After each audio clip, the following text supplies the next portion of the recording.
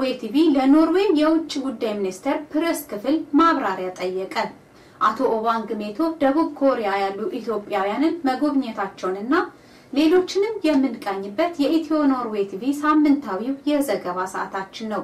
ጤና ስጥልን ተመልካቾቻችን፣ አርሴማ መድኑ ነኝ። እንደሚከተለው አሰማችኋለሁ።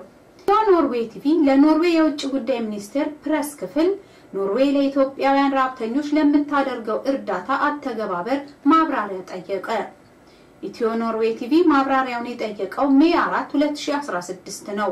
ከፕሬስ ክፍሉ በቀረበለት ማሳሰቢያ መሰረት ኢትዮ ኖርዌይ ቲቪ ጥያቄዎችን በጽሁፍ ለኖርዌይ የውጭ ጉዳይ ሚኒስቴር ፕሬስ ክፍል አቅርቧል። ከቀረቡትን ጥያቄዎች መካከል የሚከተሉት ይገኙበታል። ኖርዌይ በቅርቡ ለኢትዮጵያ 30 ሚሊዮን ክሮነር እረድታለች። ይህ ገንዘብ አጣዳፊ ለሆኑ ሰብአዊ ፍላጎቶች ይውላል ተብሏል። አጣዳፊ ሰብአዊ ፍላጎቶችን ኖርዌጂያን ድርጅቶች እንዴት ለማቅረብ አስበዋል? ኖርዌጃውያን እርዳታ ሰጪ ድርጅቶች የእርዳታ ስራውን በሚሰሩበት ወቅት የገጠሟቸው ችግሮች አሉ ወይ? የረሃቡ ሁኔታ ምን ይመስላል?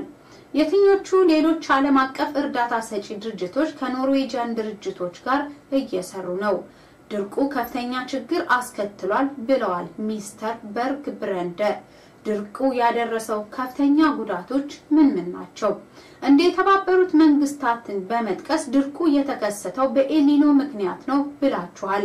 ነገር ግን ፕሮፌሰር ብርሃኑ ደግሞ ድርቁ ጉዳት ማድረስ የቻለው የአገሪቱ ንብረት በጥቂት አምባገነኖች ቁጥጥር ስር ስለዋልና በአስተዳደር ብልሹነት ምክንያት ነው ይላሉ። ምን አስተያየት አሉት? የሚሉት ጥያቄዎች ይገኙበታል። በውጭ ጉዳይ ሚኒስቴር በኩል ማለት የምንችለው ስለሰጠነው እርዳታ ነው። በ2015 መጨረሻ ሩብ ዓመት ላይ ኖርዌይ ለኢትዮጵያ 25 ሚሊዮን ክሮነር ሰጥታለች። የካቲት 2016 ላይ 20 ሚሊዮን ክሮነር በተጨማሪ ሰጥተናል። አሁን በተጨማሪ ኢትዮጵያ ውስጥ ለሚሰሩ ኖርዌጂያን ድርጅቶች 30 ሚሊዮን ክሮነር ሰጥተናል። ማለትም 25 ሚሊዮን ለሰብአዊ እርዳታ ለሚሰሩ ድርጅቶች፣ 5 ሚሊዮን ደግሞ ለኖርስካፕ ተመድቧል።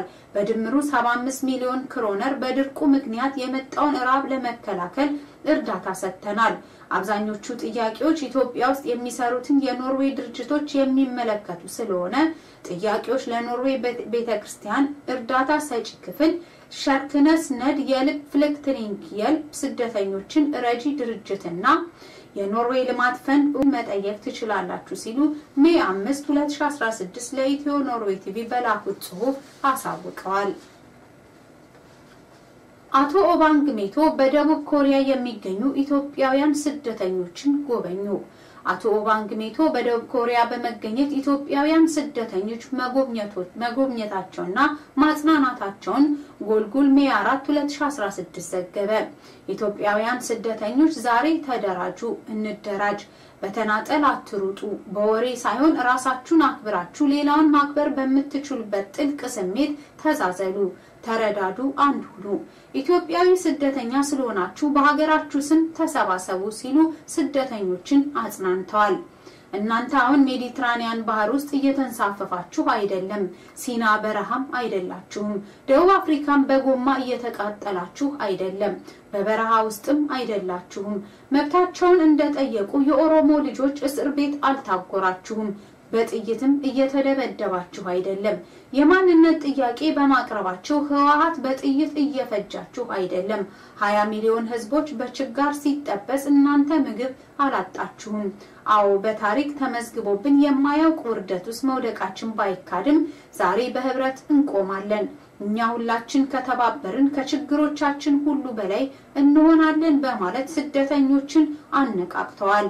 አቶ ኦባንግ ሜቶ ኢትዮጵያ ለደቡብ ኮሪያ ያደረጋችውን ታሪካዊ እገዛ በማንሳት ኢትዮጵያውያን ስደተኞችን እንድትንከባከብ ለባለስልጣኖቹ አሳስበዋል። በተጨማሪም ከሁለት ታዋቂ ሚዲያዎች ጋር ቃለ መጠይቅ በማድረግ የስደተኞቹን ችግር የደቡብ ኮሪያ ህዝብ እንዲያውቀው ማድረጉን ጋዜጣው ዘግቧል። ኢትዮጵያውያን በኖርዌይ ውይይት አካሄዱ። ህዝባዊ ውይይቱ የተካሄደው በኦስሎ ከተማ May 7 2016 ነው። ውይይቱ ያተኮረው ማህበራዊ ካፒታል ወይም social capital ላይ ነው። ስለ social capital በባለሙያዎች አጭር ማብራሪያ ከተሰጠ በኋላ ተሰብሳቢዎቹ ውይይት አካሂደዋል። ውይይቱን ያዘጋጀው የኢትዮጵያውያን በኖርዌይ የጋራ አወያይ መድረክ ነው። የውይይቱ ዓላማ ኢትዮጵያውያን በመተባበርና በመቀራረብ ማህበራዊ ካፒታላቸውን በማሳደግ የጋራ ችግራቸውን እንዲፈቱ ለማድረግ ነው። ማህበራዊ ሀብት ወይም ማህበራዊ ካፒታል ማለት በግለሰቦች መካከል ወይንም በማህበረሰቡ መካከል በጋራ ሀብትነት የተያዘ ተጨማሪ ሀብት ማፍራት የሚችል ሀብት ነው ተብሎ ነው የሚተረጎመው። እንግዲህ በግለሰቦች መካከል፣ በማህበረሰቡ መካከል ሁለት ሰዎች ሊሆኑ ይችላሉ። ይህንን ማህበራዊ ካፒታል ወይንም ይህንን ውህደት የሚፈጥሩት ወይንም ቡድኖች ሊሆኑ ይችላሉ እና የነኛ ቁርኝት ነው እንግዲህ ማህበራዊ ካፒታል የምንለው። Social capital is a form of economic and cultural capital in which social networks are central. Transactions are marked by reciprocity, trust, and cooperation, and market agents produce goods and service not mainly for themselves but for a common good. ይላል። እንግዲህ ከዚህ አንጻር ስንመለከት ሶሻል ካፒታል በጣም ሰፊ ነው ርዕሱ። ብዙ ነገሮች በውስጡ አንደኛ ምን አለ my fellow Americans አለ ኬኔዲ ask not what your country can do for you ask what you can do for your country። ይህን ሁላችሁ ሳታውቁ አትቀሩ እና እያንዳችን ተሳትፎ ብላለች። እያንዳችን ተሳትፎ ለሀገራችን ለሁሉ ለህብረተሰቡ ጥቅም የሚሆን ለጠቅላላ ሀገሪቱ የሚጠቅም ምን መስራት እችላለሁ የሚል ነገር ነው። እና በአሁኑ ሰዓትም ብዙ ችግር ያለበት እንደሚመስለኝ የኤሊቱ ምንድን ነው የተማረው ህዝብ ኃይል የማይሳተፍበት ሁኔታ ላይ ስላለ እነሱ ሁኔታ እንዴት ማምጣት የሚቻል እንግዲህ ሁላችንም ማየት አለብን ማለት ነው። እና ስለ ስነ ጥበብና እውቀት ስናወራ አንዳንድ ጥሩ ጥሩ ኦባማ የተናገራቸው ነገሮች አሉ። አንዱ ምን ይላል? the future of the world belongs to the well educated generation ይላል።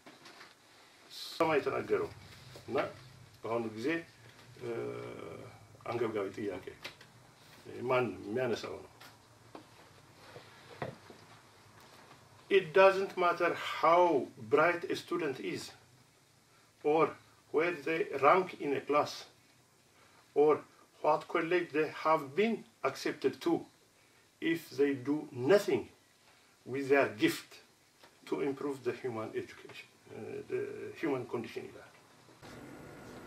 ኢየሩሳሌም በፍራቻና ጥላቻ ግድግዳዎች ተከፍላለች ተባለ። ሜይ ሁለት ስለ ፓላስታይን ጥያቄ ዳካር ላይ በተካሄደው ዓለም አቀፍ ኮንፈረንስ ላይ ኢየሩሳሌም በፍራቻና ጥላቻ ግድግዳዎች መከፈሏ ተነግሯል።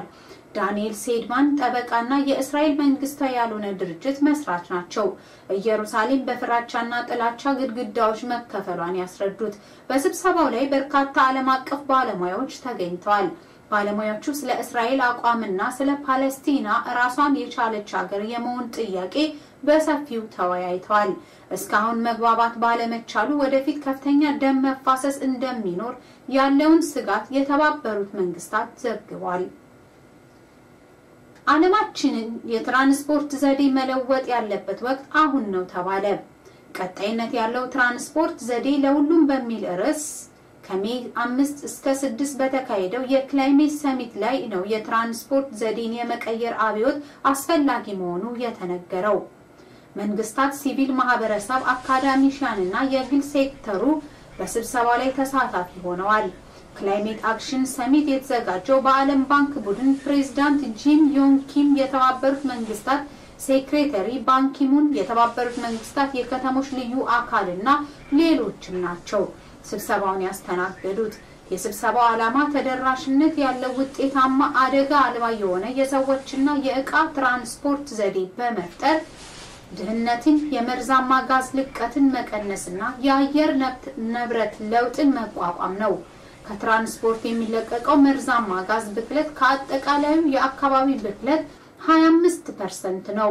ቀጣይነት ያለውና ውጤታማ የትራንስፖርት ዘዴ ለመፍጠርና ለመተግበር ህዝባዊና የግል ተቋማት በከፍተኛ ተነሳሽነት መነሳት አለባቸው።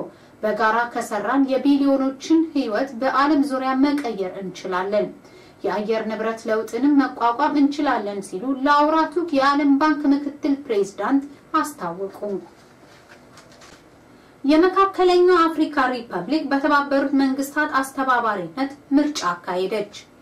May 6 2016 የተባበሩት መንግስታት ከፍተኛ ባለስልጣን ከአገሪቱ አዲሱን ብሔራዊ ስብስብ ጋር ተገናኝተዋል። የተባበሩት መንግስታት secretary general ልዩ ተወካይ የሆኑት ፓርፋይት ኦናንጋ የኦፕሬሽን አስተዋጽኦ ለምርጫ ሂደት ከፍተኛ ነው ብለዋል። ተወካዩ እንዳሉት የአገሪቱ ህዝብ በምርጫው ሂደት በሰፊው መሳተፍ ለምርጫው ሂደት ቁልፍ ሚና ተጫውቷል።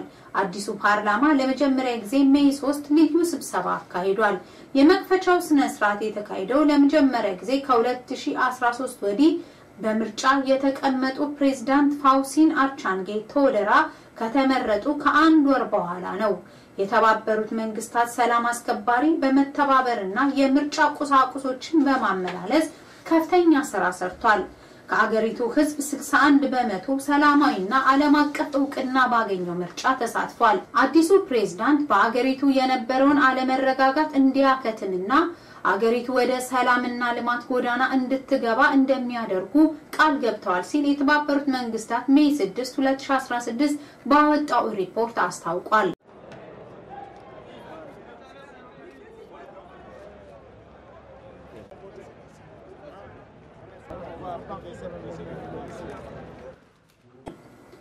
ልምድ ህዝባዊ ምርጫ ዓለም አቀፍ እውቅና ባላገኘባቸው እንደ ኢትዮጵያ ላሉ አገሮች መልካም አርአያ ነው። የተባበሩት መንግስታት ዓለም አቀፍ እውቅና ያገኘ የምርጫ ስርዓት ኢትዮጵያ ውስጥ እንዲካሄድ በምርጫ ስም ከሚነግዱ አምባገነኖች ጋር ሳይሆን ከኢትዮጵያ ህዝብ ጎን ሊቆም ይገባል።